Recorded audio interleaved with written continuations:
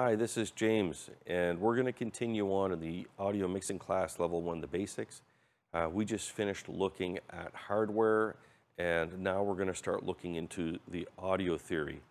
So where we left off was looking at the hardware. We just finished off looking at the speakers, uh, and so now uh, we were talking about, you know, air movement, and this is an ideal time for us to really start talking about that with audio theory, because sound is air movement and where, you know, lower frequencies would cause air to move slower and high frequencies would cause air to move faster. So slow for low and faster for high frequencies.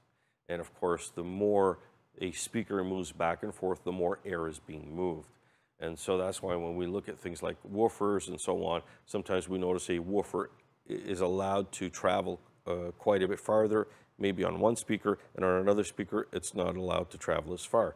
And you, you may see that in term the differences in terms of one speaker might have more bass than another one, might, might get louder than another one, and that's really because of the physics, where you, the speaker can travel more um, and therefore uh, push more air and be able to get louder. So that's how that works. So how does sound move?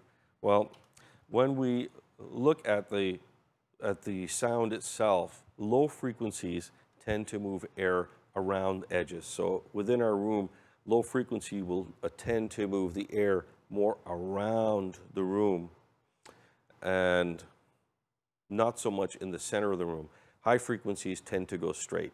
So if you've ever had that time where you sit down and you listen to your home stereo system and you have that one seat cushion that you sit on and as you're there, the sound comes in and it's just, you're right in the zone. It's the perfect spot. And if you move one seat cushion over to one side or to the other, it's just not as clear.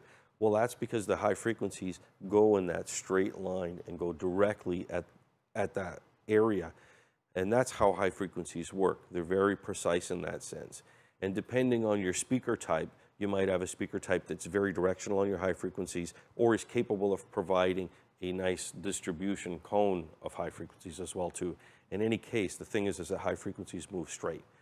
Low frequencies move around edges. Middle frequencies are kind of a little bit of both.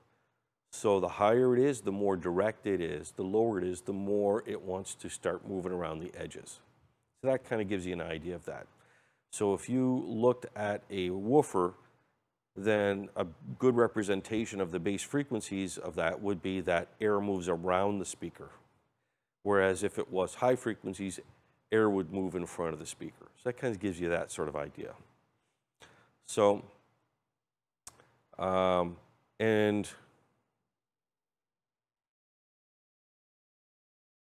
at the same time, we can also look at other things that might affect how sound works with, within a room.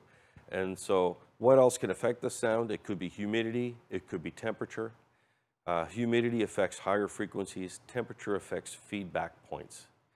And um, if we might know about the speed of sound, maybe we learned about it in school, where um, within the formula, the formula included temperature. And so at such and such a temperature, and you, you use the constant and you made your calculations out and then it gave you the speed of sound. Then it varied a little bit. So the sound might have been a little faster a little bit slower.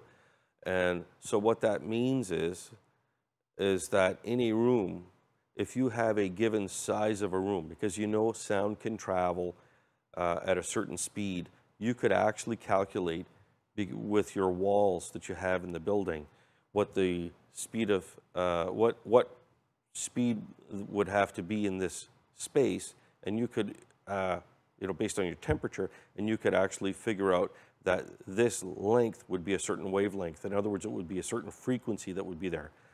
Um, and with that frequency, that would give you what your feedback frequency would be based on the room, because the rooms have uh, basically um, modes, like areas where you can have modes, where you can have uh, this frequency which is going to resonate more because of the dimensions of the room.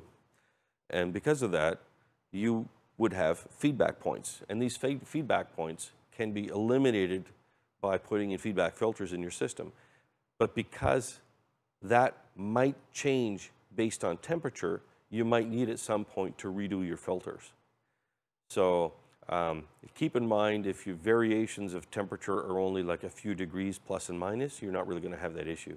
If you're having larger temperature swings of over 10 degrees, at that point you might start noticing something that suddenly this feedback point, which you, put a filter in, uh, is now suddenly starting to ring again.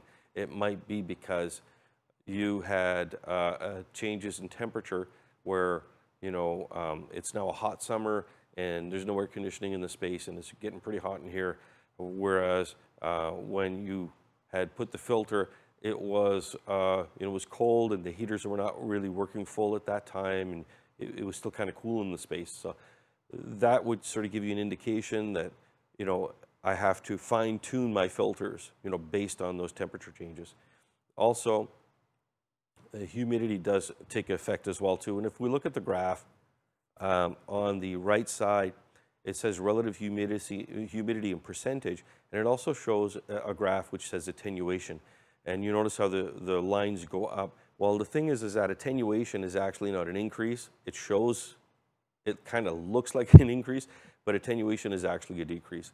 And the difference between, uh, let's say, humidity at about 50, 60% and humidity closer to about 18% or so, um, on the high frequencies, it, it kind of shows that it's almost a reduction of half of the volume in high frequencies uh, when you have that humidity swing. And so if you have a lot of high humidity swings, you might notice your high frequencies dropping down a little bit uh, within the room. And so you might need to compensate for that. Again, something to think about if you do notice there are changes. In most cases, your humidity swings are not going to be as drastic, so you might notice a change of two or three decibels. And we're going to talk more about uh, decibels as well, too. So now, decibels is actually a measurement of hearing or how loud something is. So one decibel um, is a change in sound pressure level, which is about the smallest the human ear can perceive. However, most people cannot hear a single decibel. Most hear about a three decibel change. And uh, when, I, when I've had students in the class and we've gone and made an adjustment, I made a one decibel adjustment, I would ask them, did I raise it? Did I lower it? about half of the students would say you raised it, half would say you lowered it. And it was like that in every class. I mean, I've never had any, any class where everybody was right, you know, where everybody had the same answer. It was always a split because you couldn't really tell. It was a guess. It was like a 50-50, I don't know, you know, heads, tails. You, they just didn't know, they couldn't tell. And when I changed three decibels, they could tell. Oh, you raised it. Oh, you lowered it. That was much more of a noticeable change.